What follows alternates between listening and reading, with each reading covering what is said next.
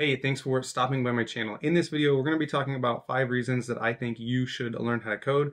Now, just to preface this a little bit, I think that everybody should learn how to code no matter what profession or career you have. It is just a really helpful skill for you to have because you're able to make things that don't necessarily exist or be able to help you with your specific job. But this channel is specifically tailored towards those who are wanting to become penetration testers or bug bounty hunters. So let's go ahead and talk about my top five reasons why I would learn how to code if I were to do it all over again. And I already know there are going to be some people with some pushback saying, well, so and so is a really great hacker and a really great penetration tester, and they don't really know how to code.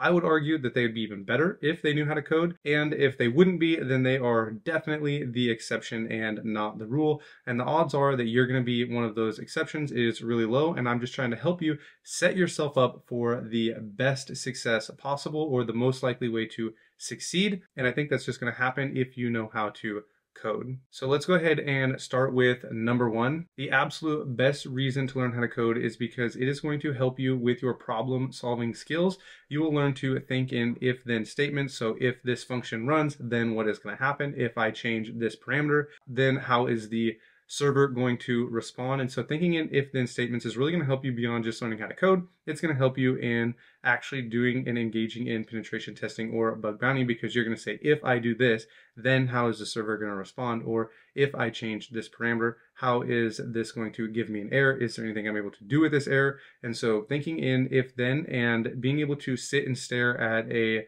proxy request or some kind of code and be able to think, how am I going to be able to change this in order to get it to give me what I want? It's going to help you think through logically how the system or the code or the program is actually functioning. And this is really going to help you in your problem solving skills. And number two is you're going to be able to automate your own tools and your own recon. You'll be able to create your own recon tools and you'll be able to automate your recon specifically how you like it and get the information back from a specific target that you want. Now there are a, lot of really great automated recon tools and tools out there to help you, but even if there are tools out there, they are not going to be tailored for you. They're going to be tailored for the person who created them.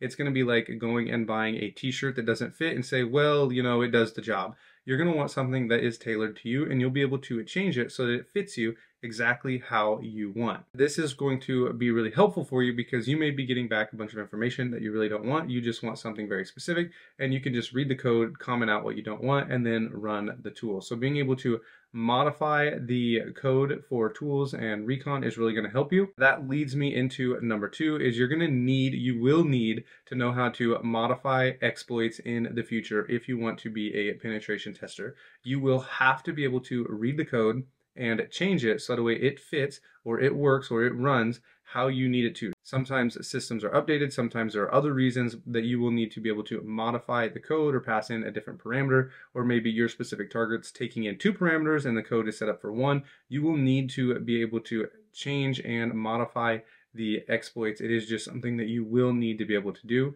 And beyond just that, you'll need to know how to read and understand code because if you're just firing off exploits at a target left and right, eventually you're going to run malicious code on your own computer and you are going to crash it or you're going to have something terrible happen. And even worse than that, if you're just firing off exploits and you don't know what they do, you might crash a client server. So it will be helpful for you to know how to code. And beyond just that, a employer or an employer is going to want you to be able to code because it will advance your career. They're going to want you to be able to collaborate and work with others. So I kind of just put the last two together.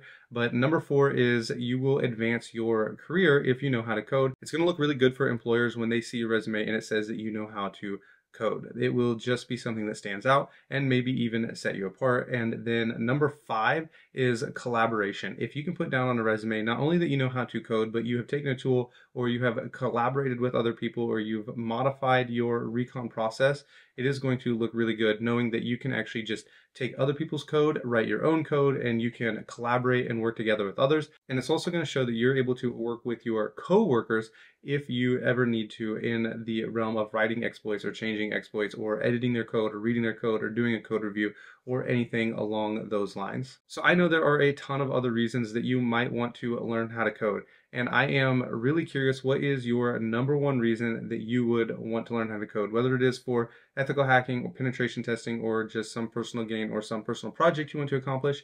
I'm curious what is your top reason. Also, what language do you think is the best and that people should try to learn today as we go into 2024? Thanks for watching.